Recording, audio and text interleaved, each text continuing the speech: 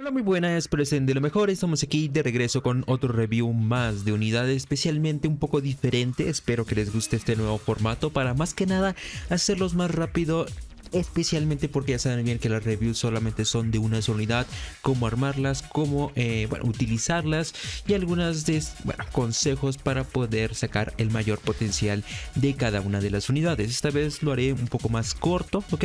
Explicando lo más importante de cada una de las unidades. En este caso comenzaremos con la review de Sky, la cual es un atacante finisher eh, y también chainer en su forma normal, la cual, bueno, es muy fuerte es muy poderosa, ya, ya tiene su tiempo de, desde que salió, pero es muy utilizada. Actualmente le han dado muchas actualizaciones, la cual la han potenciado enormemente.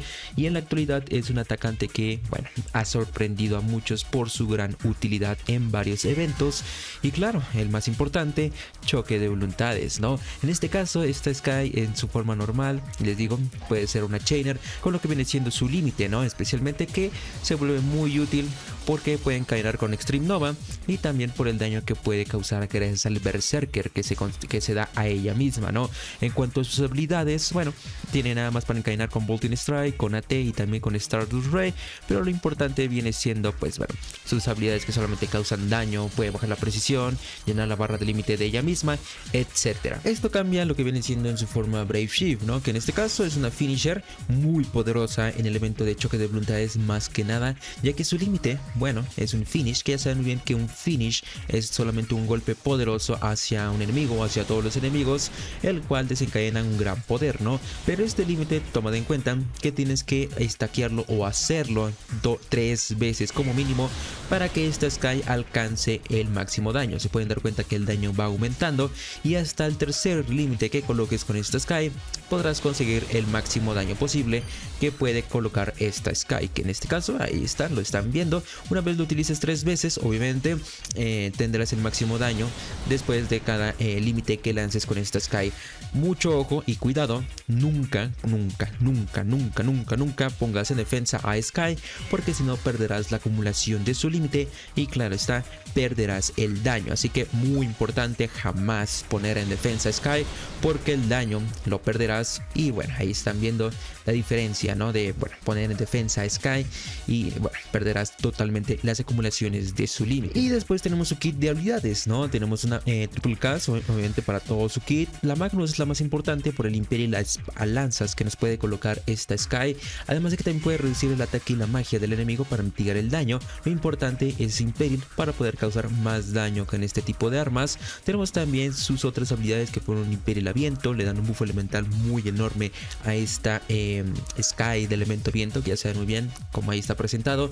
Su eh, main elemento de este Sky es viento, pero también toma en cuenta que estas tres habilidades, o bueno, estas dos habilidades, además de potenciar Sky con más buff de ataque, killers contra dragones y muertos vivientes, también le darán más daño para lo que viene siendo su ataque en salto, o sea, su ataque básico. Después de eso vamos con sus rotaciones de Sky, especialmente vamos a utilizarla en esta primera rotación en entornos normales con su ataque en salto. Recuerden muy bien que este ataque en salto es eh, de elemento viento, así que si utilizas otros elementos el daño de Sky disminuirá, así que te recomiendo solamente utilizarlas, utilizarla en entornos de elemento viento. En este caso vamos a comenzar en su forma Brave Shift que afortunadamente no tiene límite ni cooldowns ni nada por el estilo y simplemente vamos a utilizar su Magnus y sus dos habilidades que recuerden muy bien potencian enormemente el daño de salto de esta Sky. Esta Riku recuerden muy bien que un finisher nunca, jamás, jamás, jamás, jamás, jamás parte sin su chainer porque es muy importante para poder generar el máximo daño posible. Muy bien, una vez seteado esos cooldowns, los cuales recuerden muy bien, nos da un Imperial muy bueno de elemento viento, un Imperial de lanzas también muy bueno. Vamos a hacer saltar con su ataque básico a esta Sky. Vamos a setear también a esta Rigo, que va a ser nuestra Chainer. Ahí, ahí, tenemos todo preparado para poder generar el máximo daño posible con esta Sky. Sí, afortunadamente la rotación de Sky es muy, muy, muy, muy, muy, muy, muy fácil. Simplemente Preparamos los chainer. Y capeamos. Eso es todo lo que tendríamos que hacer y vean nada más el damage que podemos lograr con esta Sky. Eso es toda la rotación que tendríamos que hacer con esta Sky en obviamente entornos normales. Pero claro, para poder obtener estos daños con Sky necesitamos equiparla correctamente. Para eso vamos a ver en la calculadora cómo es que necesitamos equipar Sky para que su ataque en salto bueno, sea con grandes daños. En este caso, obviamente muy importante, dos objetos que no le pueden, eh, que necesitan equiparle directamente a Sky es su TM, bueno, su Super Trust Master, puede ser también su TM si todavía no tienes su Super Trust Master, pero te recomiendo muchísimo su Super Trust Master para más versatilidad en cuanto a equipamiento y también su habilidad intrínseca que recuerden muy bien, esta la regalan obviamente a a todos, ¿ok? Eh, aún así no tengas a Sky, que es muy importante, eh, potencia enormemente este ataque en salto y también a Sky, ¿no? Con muy buen ataque porcentual y también muy buen ataque base, lo cual es muy muy poderoso y también con varios killers que no se apoya para poder pegar más daño a diferentes enemigos. Así que importante jamás olvidarse de estos dos ítems con Sky. Después de eso vamos a buscar lo que viene siendo daño de salto, el cual la mejor lanza o arma que le puedes poner a esta Sky es la lanza de Caín, la cual se puede mejorar con la batalla en bucle. Recomiendo muchísimo la mejora True Dual Hand porque así podrás hacer más daño. Después de eso también buscaremos un casco muy poderoso que es el de Ricard que aumenta el daño de salto, lo cual aumenta el multiplicador de daño de salto de esta Sky y también actualmente eh, en esta semana salió lo que viene siendo el atuendo de Riku el cual también es muy muy muy poderoso por el hecho de que nos aumenta el daño, ¿cómo se llama? Oh, Berserker, ¿no? Se llama algo así. Ahí está, atuendo Berserker. Esta, ah, este TM es muy bueno porque también aumenta aún más el daño de salto en lo que viene siendo eh, esta Sky. Y por si fuera poco, también hay, hay otro Super Trust Master que también es muy muy útil, que es el de Kimari. Tristemente no me ha salido, espero que algún día me salga, porque además de tener muy buen ataque base, también obviamente nos potencia lo que viene siendo el ataque en salto y no solo eso, sino que también nos ayuda a obtener mejor multiplicador de daño en el salto de Sky. Pero todavía no queda ahí la cosa. Necesitaríamos también la carta de este Ricard, la cual también aún aumenta aún más y potencia más el ataque en salto de esta Sky. Lo cual, bueno, eh, con tener a Ricard ya te haces con dos ítems muy poderosos, ya que la carta de visión la consigues a Exhibis 1 y Super Truth Master pues la puedes utilizar en un Super Muri fiel.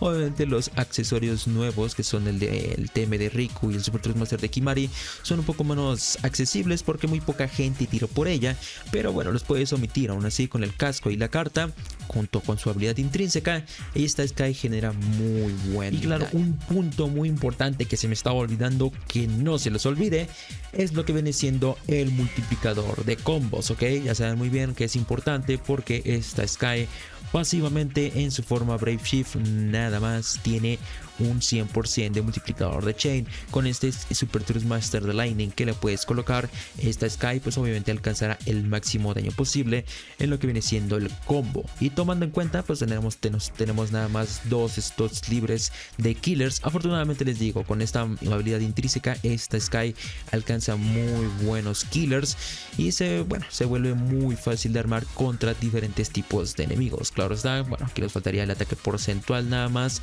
que el cual bueno se lo puedes dar ya sea con ataque, con algunas materias que te dan killers y ataque porcentual, como por ejemplo contra máquinas, por ejemplo. Eh, le colocas ese y bueno, genera muy buen daño con, eh, con este ataque en salto con esta build. Tomad en cuenta que si no tienes este accesorio de aquí, eh, bueno, estos dos ítems de aquí, entonces aquí yo lo que le pondría sería el Super Trust Master de Cain, el cual también te da muy buen ataque en salto, y lo que viene siendo en este accesorio, el accesorio del magistrado, para poder así tener muy buenos slots libres y también tener el máximo de Jump Damage en esta Sky. Después tenemos su rotación en choque de voluntades, la cual, bueno, así es como lo utilizarás en este tipo de evento para poder generar el máximo daño posible con esta Sky. Tomad en cuenta que esta Sky sí necesita ayuda de algún soporte que le pueda pegar algún elemento, ya que afortunadamente su límite en su forma Brave Shift eh, no tiene ningún elemento y pega daño neutral, así que podemos pegar cualquiera de los 8 elementos que tenemos en el juego. Así que lo primero que tendremos que hacer en su forma Brave Shift en el primer turno es empezar a acumular su límite. Si no lo tienes a Xevious 2, eh, bueno, toma, puedes utilizar alguna soporte como por ejemplo Sylvie o algo así que te llene la barra de límite al principio y bueno, empezar a acumular su límite para aumentar ese daño, ¿no? Después de eso, por ejemplo, si no tienes, digo, un, caso hipotético, una soporte que te llene la barra de límite rápidamente de Sky, puedes utilizar su chain de Stardust Ray para llenar dicha barra y así poder seguir acumulando daño ¿no? de este límite. Vamos a cambiar aquí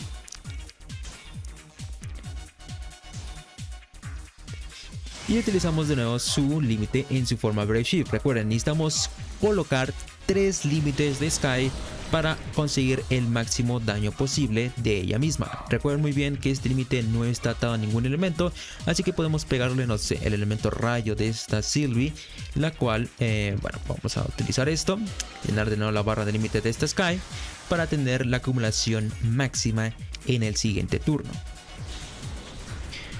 Y con esto, bueno, otra vez, otro, otro límite. Defendemos, defendemos con estas dos y tendríamos ahora sí el máximo daño posible con esta Sky en este turno. Recuerden muy bien que este paso que voy a hacer ahorita mismo cambia directamente dependiendo el arma que le coloques a Sky. Eh, hay algunos que le colocan otras armas como por ejemplo espadones, el espadón de Esther, etcétera, y entonces no necesitarás el Imperial de lanza. Así que, pero en este caso como por ejemplo estoy utilizando una lanza, obviamente solamente voy a utilizar lo que viene siendo su Magnus de Sky para tener más daño al pegar con este tipo de armas. Con esta Riku vamos a utilizar su límite y recuerden que esta Sylvie es la única actualmente que puede aumentar los daños de límite en base a la moral, que es el tipo de límite que tiene esta Sky con su límite en su forma Brave Shift, lo cual es muy útil y muy poderoso para aumentar el daño de ella misma.